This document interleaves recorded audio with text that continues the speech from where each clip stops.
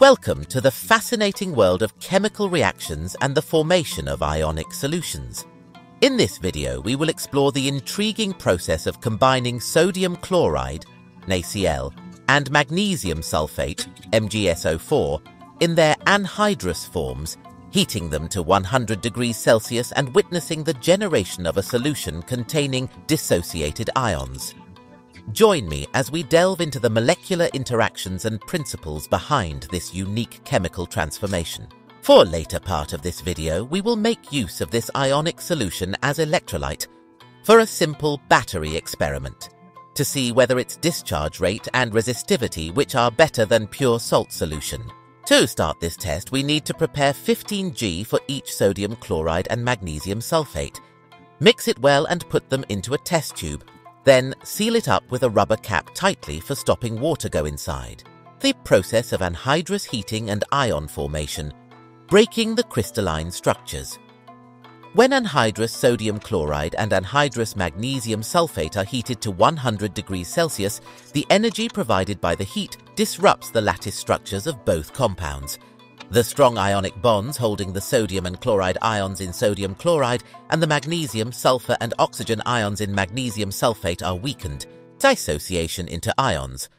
As the anhydrous sodium chloride and anhydrous magnesium sulfate crystals break apart, the positively charged sodium ions, Na+, and negatively charged chloride ions, Cle, from sodium chloride, as well as the magnesium ions, Mg2+, and sulfate ions, SO42, from magnesium sulfate become free in the solution.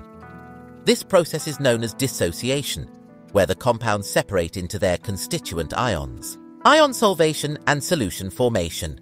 Once in the solution, the ions become solvated by water molecules, which have a high affinity for charged species due to their polar nature.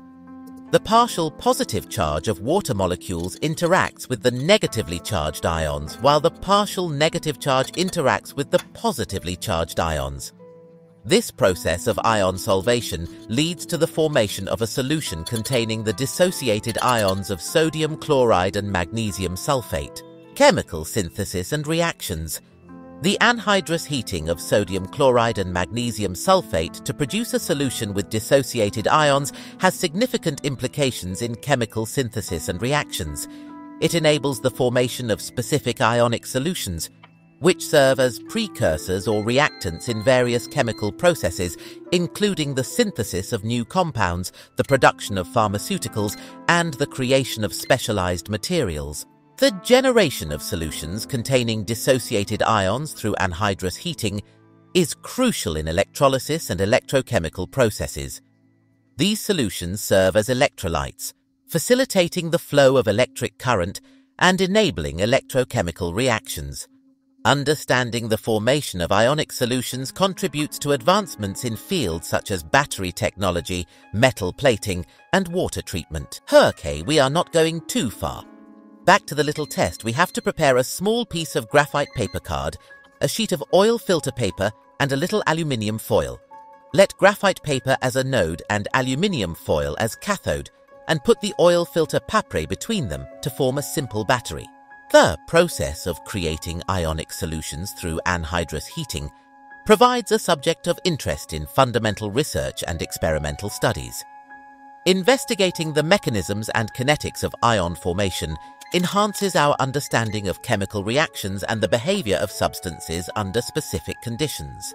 This knowledge contributes to the development of new theories and the advancement of scientific knowledge. The anhydrous heating of sodium chloride and magnesium sulfate to generate a solution containing dissociated ions is a captivating chemical transformation.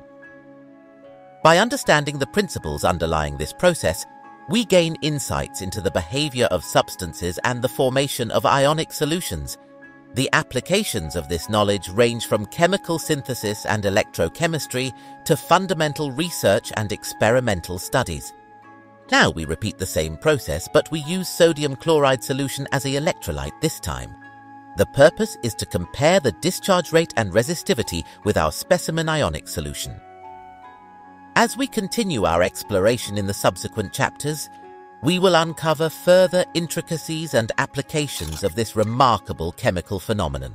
It is not difficult to see the sodium chloride solution discharge rate is faster, and battery capacity is lower than the ionic solution.